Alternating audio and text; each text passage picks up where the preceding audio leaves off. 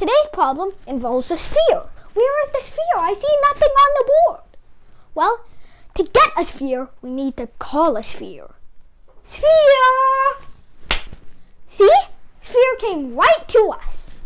And with correct data credentials. So, the volume of the sphere is 288 pi. And we want to find the radius and the surface area. Now, I'll give you five seconds to try and do this on your own. But before that, you need to know some pretty important equations. First of all, how do you find the volume? Well, to find the volume, you need this equation. V is equal to 4 thirds pi r cubed. And for the surface area, you have to have this formula, 4 pi r squared. Alright, so that's the problem for today. Now I'm going to give you 5 seconds to solve it before we reveal the solution. Volume is like the area of the sphere. It's like the area of a 3D object. What's inside this sphere? The volume of this sphere is how much Play-Doh is like packed, stored inside the sphere. Alright, so now, what is the surface area? Well, taking the surface area, is like if you squeeze this, alright, let's squeeze it on live camera, squeezed it so much, and then measure the area of that 2D object. And this object's area would be the surface area of the former sphere. Alright, so now, that's the volume and surface area, just to give you an idea of what it would look like. And by the way, the radius would just be the radius of this circle. Alright, so now, let's see what we can do over here.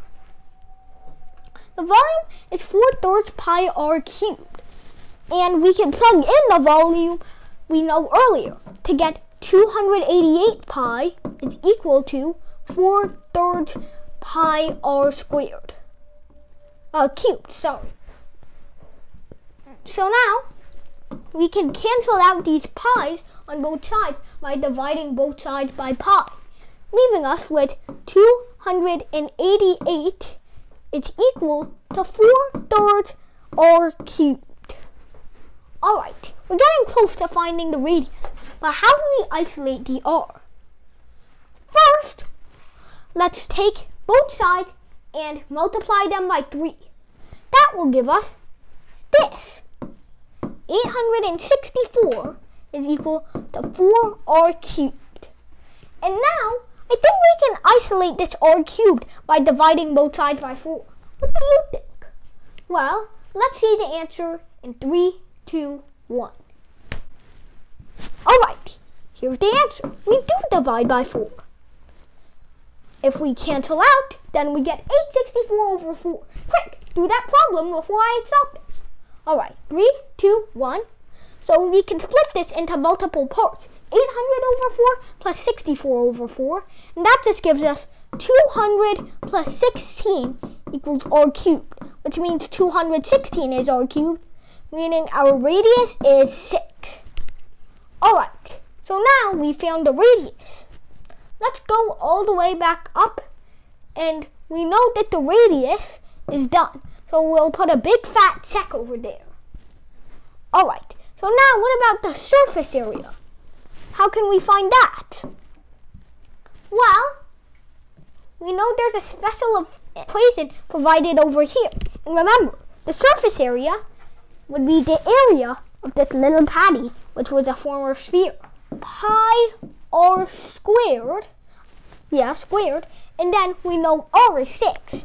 So we just get 4 pi, what is 30, uh, 6 squared. I'll give you some time, do it quick. 36. It's 36. 36 times 4 is of course 144 and then pi.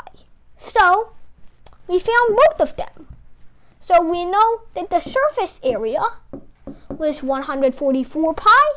We know that our radius, or most people do it with a lowercase r, is gonna be 6. Thank you everybody for watching and we will see you next time. Bari Science Lab to fall in love with math and science, especially programming.